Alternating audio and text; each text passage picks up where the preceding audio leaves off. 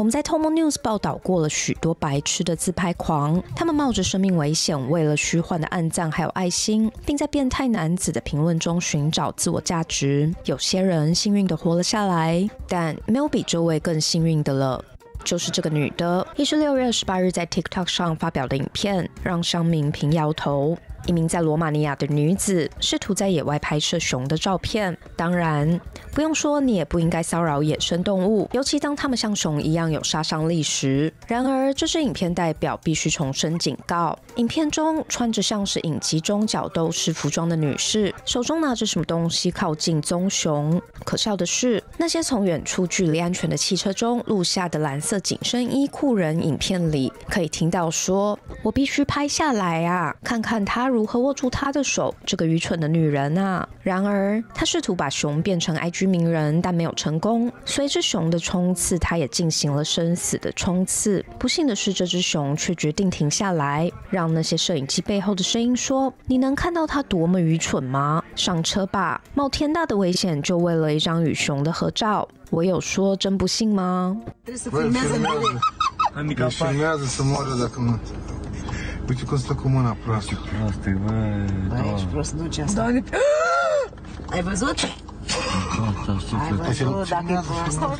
Nu se mai duci. Du-te, bă, mașină, bă. Ești, Mă, și mă sperie, bă. bă, ești prost. Dar proastă de rage, nu ca... Duce, stai că se repede la ea acum, stai. Uite ea. Du-te, mă, în mașină, bă. Pentru o poză cursul Ai vrut urs. Bă. Bă, Uite un ce... pic cu BMW-ul. Du-te Ce poate să fac cu un BMW? Ești cu BMW-ul tot aici. BMW My de... God. Bă, cum mă te duci la bară? Deci îți dai seama ce a avut ea în Bă, cap? dar n-ai bă... Dacă îmi făcea... 事发地点到目前为止还不清楚，这算是个好消息，因为您知道，所有那些所谓有影响力的人都会涌向现场。毫不意外，罗马尼亚当局多次发出警告，警告驾驶不要将路边的熊当作宠物对待。环境部长 c a s t a Alex 最近说过，熊是受法律保护的野生动物，不是宠物。仿佛在阅读故事书的最后一行，他补充说，再一次对这个国家的公民强调，一只熊如果已经吃过饼干、威化饼干，并且觉得他可以用这种方法来获取食物的话，他就永远无法再次适应森林。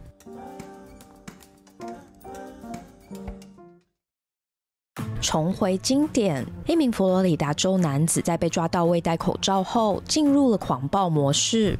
佛罗里达州男人和 Costco 的组合是永远都不会好起来的。六月二十七日的摄影机捕捉到，在新冠病毒的肆虐下，一名老太太要求他戴上口罩，她却涨红了脸。此片段由马尔兹堡的一间 Costco 转贴到 Twitter 上，至今已有八百五十万次观看。影片显示一位穿着红色一七七六环游世界 T 恤的男子。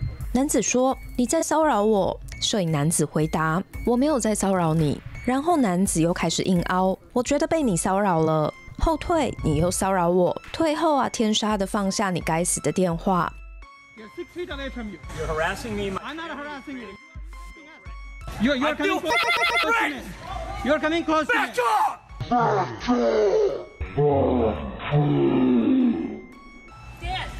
Threaten me again! Back the fuck up or your phone down!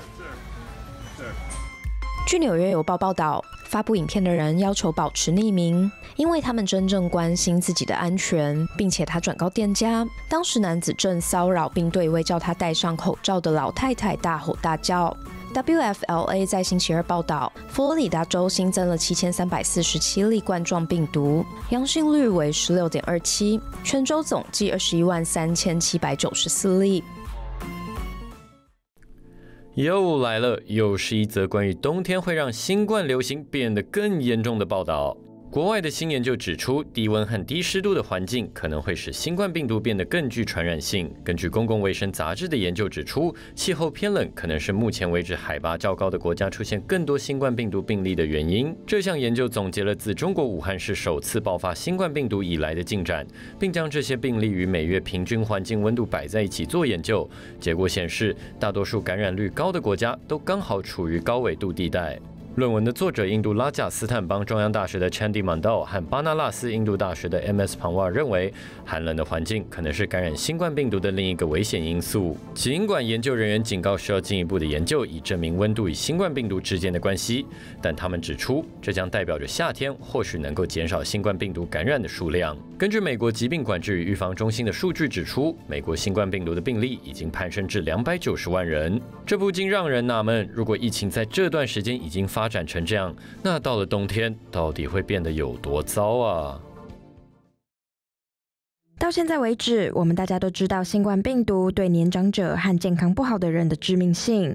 然而，现在的研究显示，新冠病毒甚至可能对年轻而健壮的人造成严重的伤害。在美国医学会神经病学杂志 JAMA Neurology 上刊登的一项研究指出，医生认为被新冠病毒感染的儿童可能会有在没有任何呼吸系统症状的情况下出现脑部受损。英国伦敦一家医院的医生团队检查了二十七名患有发炎反应症候群的儿童与新冠肺炎会出现的发炎症状。他们发现，其中四名患者出现了其他神经系统症状。已经记录的症状包括头痛和脑病变、肌肉无力、肌肉收缩衰弱以及小脑和脑干受损的症状。这四名病患都需要高度密集的医疗照护。根据这项研究，由于检测到大脑结构内接收的讯号出现变化，而推定发炎可能影响了儿童的胼胝体。胼胝体是用来调整左右脑的结构。尽管其中两名患者已经康复，但其余两名仍在医院接受住院治疗。而在这项研究发表时，两人已经开始乘坐轮椅。研究团队警告说，尽管这项研究的样本数量很小，但研究结果足以要求对无症状携带新冠病毒的年轻患者进行密切监控。所以，请大家务必要好好保护自己。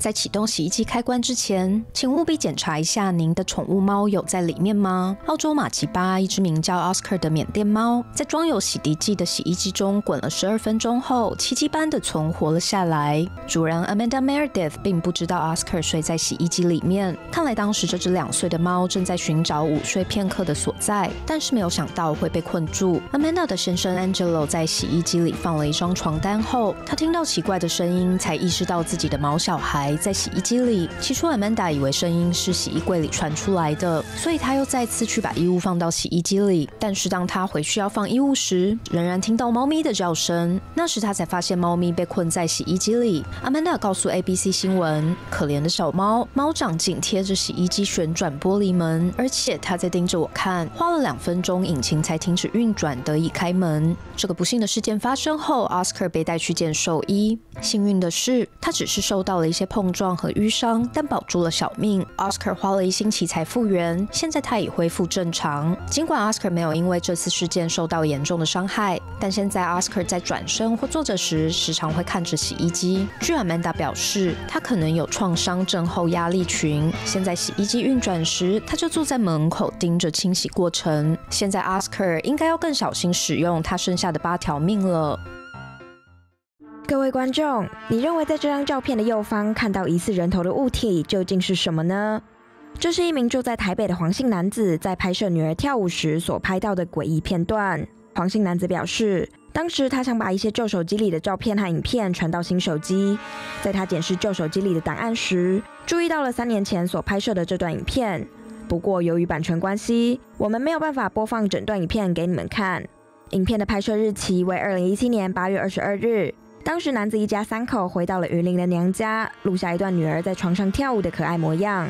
不过，就在几秒后，他们注意到右方出现了看似被长发遮着脸的人头，坐在桌子的后方。男子直到最近才发现这段影片，让一家人都觉得毛毛的。男子对媒体访问说：“我确定当时房间里只有我和我女儿。当时丈母娘就有跟我说，附近邻居在办丧事，因为他们家有女儿过世了。但我当时从头到尾都一直坐在床上。”男子也说，有部分网友怀疑这是合成出来的假影片，不过他自己也希望这一切都不是真的。我唯一能说的就是，当时只有我和我女儿在房间里，其他人都在楼下。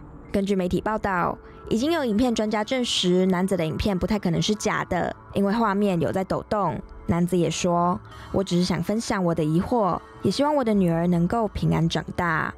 一张新生儿抓着子宫避孕器的照片，近期在网络上突然走红。根据网络媒体 Lab Bible 的报道指出，新生儿的妈妈是一位来自于越南的三十四岁女性，据报育有两个小孩，而她是在两年前安装子宫避孕器的。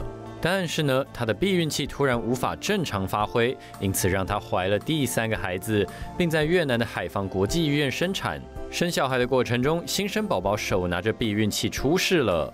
医院的妇产科医生 Trumpet Phone 注意到了这名婴儿，并对他的发现感到惊讶，于是拍下了这位新生儿，并在医院的社群媒体上分享了这张照片。医生表示，在生产之后，我认为拿着避孕器的婴儿的景象很有趣，所以我才拍照。但我从没想过这会引起大量的关注。子宫避孕器插入子宫后释放铜或是荷尔蒙，来防止精子让卵子受精。